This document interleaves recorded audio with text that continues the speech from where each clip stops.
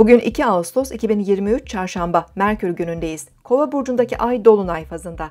Toplumsal kavramlar, sosyal vicdan, yenilikler, reformlar, bilim ve teknolojiye ait konular ilgi alanımıza daha fazla girebilir. Sabah erken saatlerde ay Boğa burcundaki Jüpiter'le dik açı yapacak. Mars ve Jüpiter arasındaki üçgen açının etkisi de devam ediyor. Duygularımız güçlenirken hem kendimizden hem çevremizden beklentilerimiz de artabilir.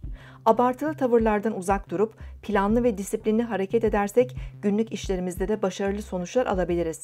Rutin işler ve önceden planlanmış konularla da ilgilenebiliriz. Son günlerde üzerinde çalıştığımız işleri ve konuları gözden geçirmek ve tamamlamak daha doğru olabilir. Kova burcundaki ay öğleden sonraki saatlerde Boğa burcundaki Uranüs'e dik açı yapacak. Stres ve huzursuzluk hissedebileceğimiz bu saatlerde ruhsal dengemizi korumamız da zorlaşabilir. Kontrol dışı bazı durumlar heyecan yaratabileceği gibi dürtüsel tepkileri de arttırabilir.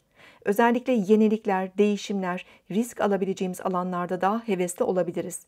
İletişimlerimizde sakin ve sağduyulu davranmaya çalışmalıyız. Özellikle sabit burçlar boğa, aslan, akrep ve kovalar daha fazla etki alabilir. Siz de şimdi kanalımıza abone olun, yorumlar bölümüne sorularınızı yazın, sürprizlerimizden haberdar olun.